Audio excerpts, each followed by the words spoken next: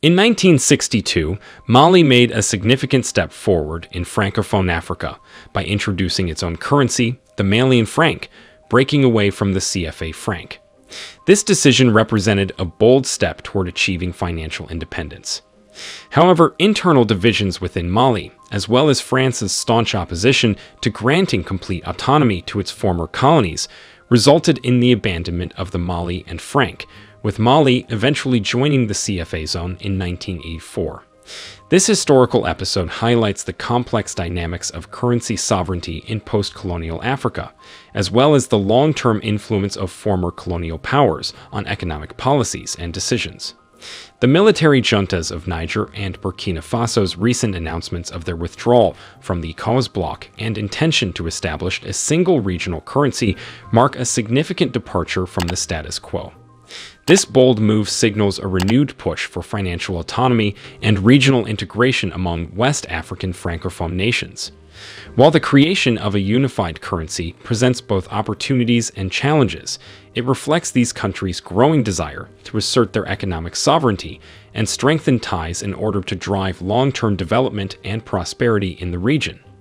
As these countries grapple with the complexities of currency reform and regional cooperation, their actions could have far reaching consequences for Africa's overall economic integration and governance landscape. According to President Traore, it is more than just the currency. Anything that keeps us in slavery will break the bonds. Abdourahmane Tiani, the head of Niger's junta, expressed similar sentiments during an interview on state television, saying that abandoning the CFA franc would be a sign of sovereignty and a necessary step toward independence from French colonialism. General Tiani went on to say that money is a symbol of sovereignty, and we are in the process of regaining total sovereignty. Our states are no longer the cash cows of France. France has robbed us of over 107 years. We must collaborate to identify the mechanisms that will enable us to strengthen exchanges within our alliance. This is a bold move, and as previously stated, it is the first time since Mali abandoned its currency that any francophone country has decided to consider and make plans to abandon the CFA franc.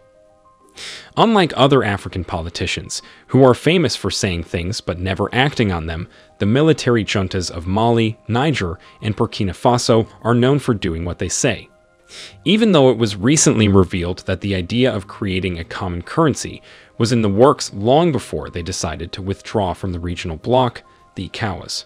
In November of the same year, the three states' finance ministers issued a joint statement recommending the formation of an expert committee to study the issues of economic and monetary union.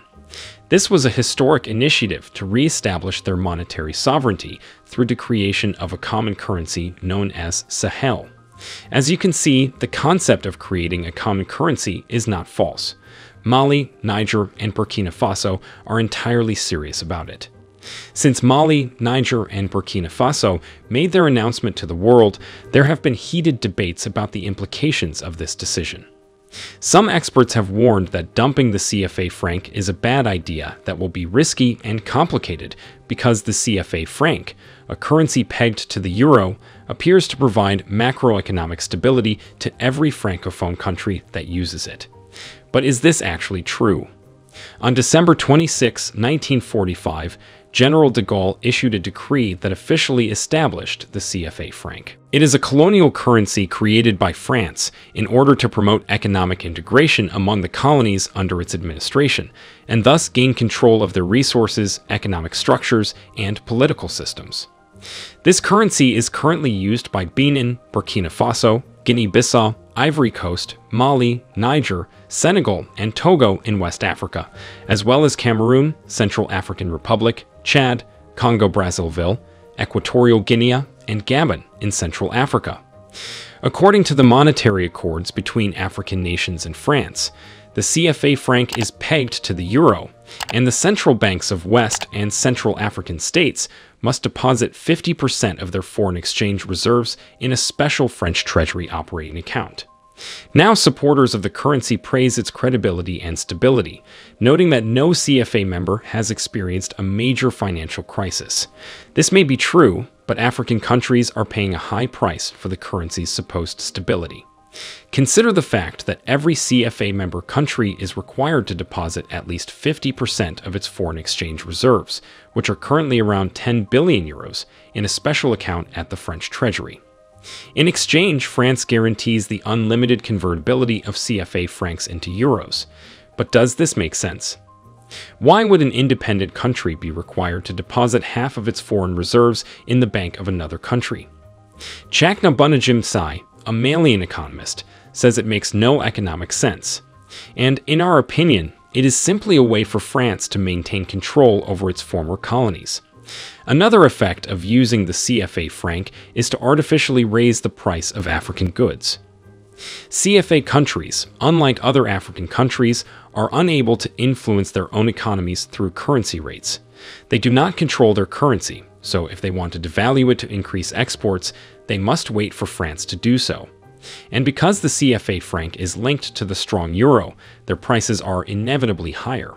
This not only reduces their economy's competitiveness, but also benefits imports from countries with weak currencies, such as China.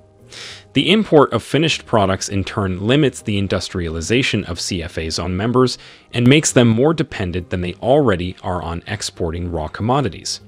So, who really benefits from the CFA franc? Defenders of the CFA franc claim that the use of the currency in Francophone Africa has made the inflation rate in this region to be low compared to other places in Africa. This may be true, but the result of this so called low inflation is a weak economy and the creation of fewer jobs. The reason for this is that the currency's stability attracts foreign investors while stifling domestic production. To put it simply, the CFA franc is a good currency only for those who benefit from it. Specifically, major French and international corporations, executives of the zone's central banks, elites seeking to repatriate wealth acquired legally or illegally, and heads of state unwilling to upset France.